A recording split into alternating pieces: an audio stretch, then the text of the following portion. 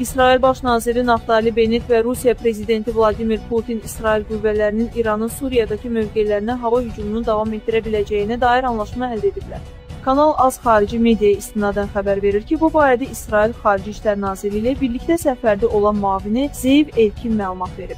Məlumata görə tərəflər İranın atom anlaşması və onun inkişafının necə dayandırılması və Suriya məsələsi ətrafında müzakirə aparıblar. Bakı-Qazax avtomobil yolunda 3 nəfərin xəsarət alması ilə nəticələnən yol nəqliyyat hadisəsi baş verib.